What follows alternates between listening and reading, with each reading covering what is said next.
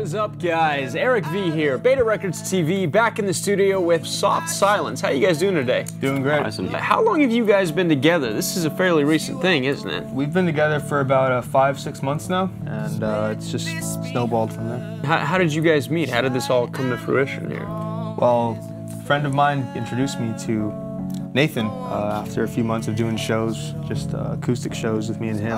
We came to the conclusion we needed a drummer, and we couldn't find one, but uh, two days before a very, very big show on Halloween night, um, I got an email from Brent. Wait for me, wait for me.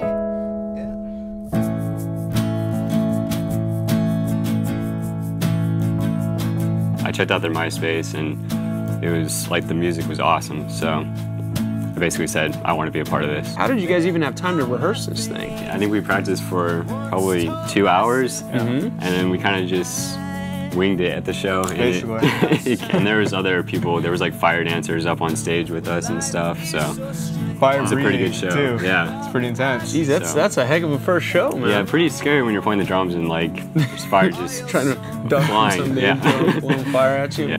Yeah.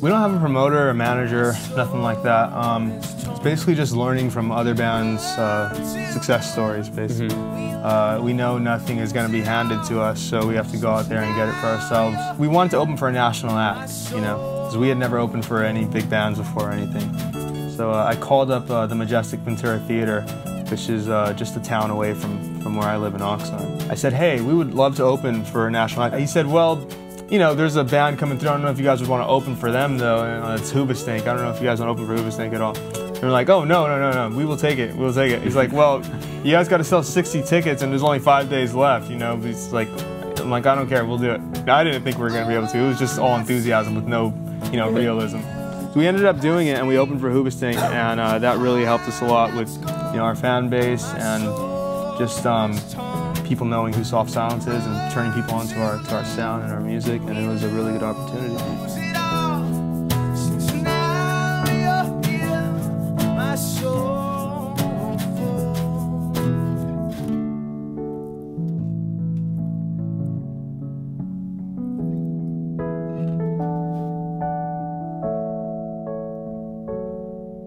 In terms of putting an album together, how how far along in the process are you? Well, we've tried that once, uh, and it worked pretty good, but we didn't sell it. We gave it away for free, mm-hmm. and that was an album that we put out um, a few months ago called Snowleaf.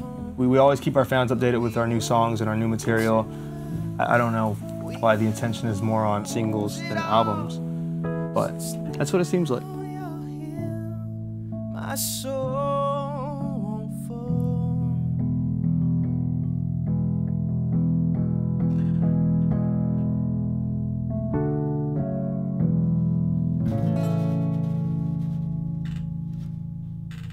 We are Softsilence. This is Beta Records TV.